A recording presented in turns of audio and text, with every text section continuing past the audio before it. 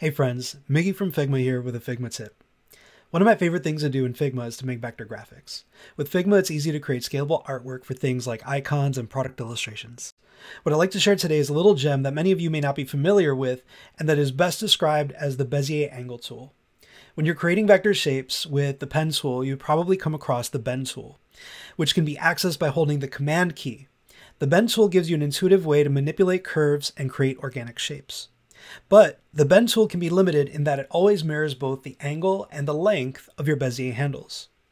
If you want to change the behavior of a point's handles, you'll have to typically go all the way to the properties bar to do so.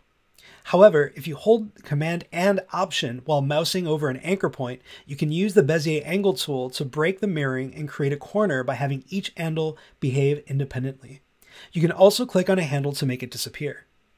Also, if you want to reset the point, just like the bend tool, while holding Command and Option, just click on the point to reset the handles and start over. If you hold Shift, you can also constrain the handles to 45 degree increments.